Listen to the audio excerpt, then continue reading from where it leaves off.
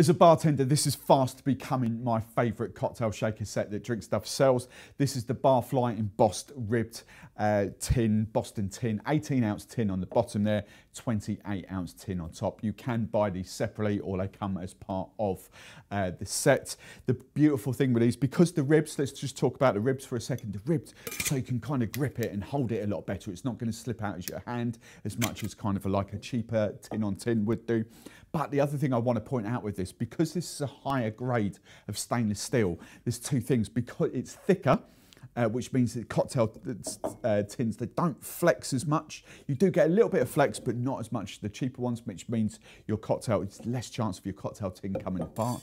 But the other thing with that is because it's going to conduct heat even better, meaning it's going to chill your cocktails down even quicker. But because it is slightly thicker, it's going to protect your hands just ever so slightly more.